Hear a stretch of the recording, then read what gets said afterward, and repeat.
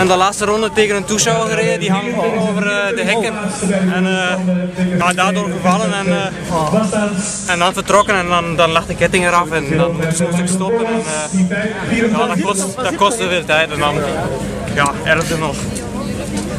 Maar toch niet slecht. Nee, nee, je hebt zeker vanaf de eerste ronde goed meegereden, Marcel. Ja. Kijk, lekker goed gevoel in de benen? Heel hoog is goed.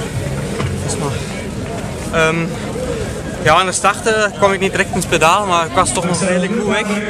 En kon uh, in de afdaling al direct een paar mannen voorbij rijden en was ja, redelijk goed mee, mee al. Dus het was niet ideaal, maar redelijk goed. En, ja, het gevoel was niet super, maar uh, ik denk op dat lastig parcours heeft iedereen ja. geen, geen super benen. Dus ja, toch content van dit cross zeker.